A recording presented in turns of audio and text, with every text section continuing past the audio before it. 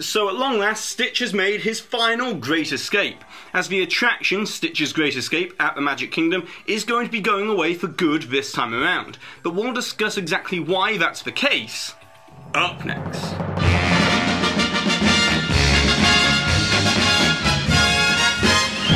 Hi there Waltoneers, I'm Jack and this is of course DSNY Newscast. And go ahead and subscribe down below if you're new to this channel, hit that notification icon so therefore you always receive an update whenever I release new videos. And with that being said, let's get straight into it. As on November 16, 2004, Stitch's Great Escape opened to mixed reviews, and instantly became one of the most divisive attractions in the history of the Disney parks, as its opening campaign saw Stitch take over the Magic Kingdom, and supposedly toilet paper the park's iconic Cinderella Castle. But putting that highly questionable marketing decision to one side, there are two reasons for why Stitch's Great Escape has still remained divisive to this day. The first being the misunderstanding that people liked the mischievous antics of Bad Stitch which are his only personality traits and characteristics within the attraction. Whereas, in actual fact, Stitch is undeniably one of the most beloved characters of recent times, being so popular that he's supported multiple merchandise lines over the years.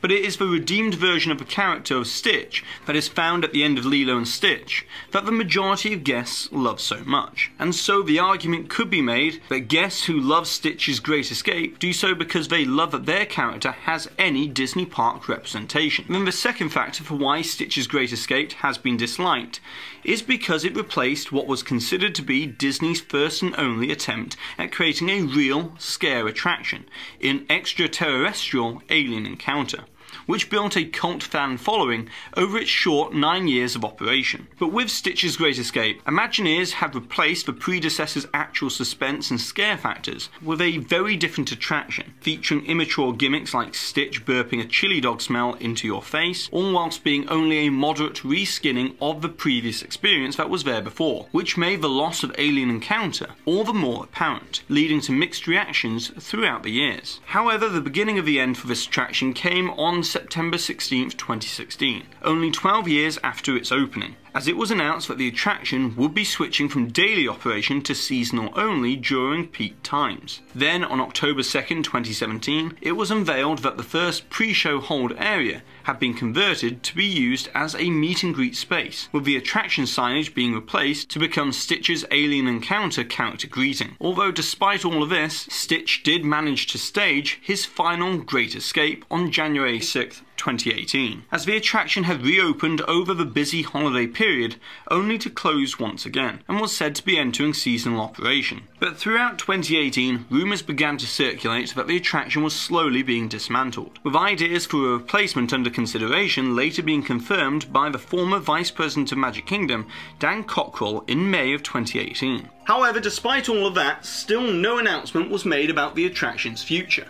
But then that brings us to today. With this notice of commencement permit filed on March 19th and issued to Walt Disney Imagineering for interior demolition which if we check the address of this permit on the Reedy Creek Improvement District map, we can see that this permit is for the show building that houses Stitch's Great Escape. So what this permit does confirm is that whatever is remaining of the attraction will surely be demolished, however the building itself will remain intact. But considering that the permit has no expiration date, it means that this demolition can take place at any time in the foreseeable future, meaning that the demolition may or may not be imminent. But now I just want to clear some things up, as there are some blogs out there that are stating that this demolition permit is definitive proof that a Wreck-It Ralph themed attraction is coming to the Magic Kingdom.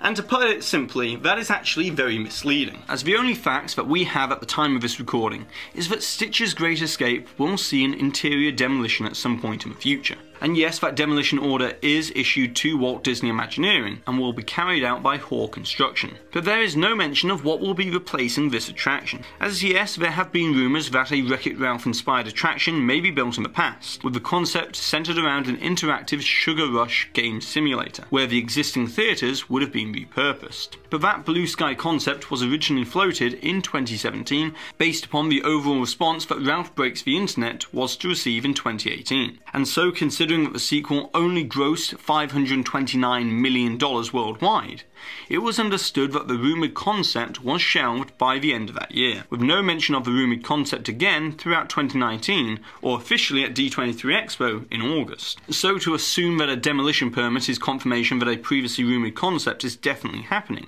is quite inaccurate.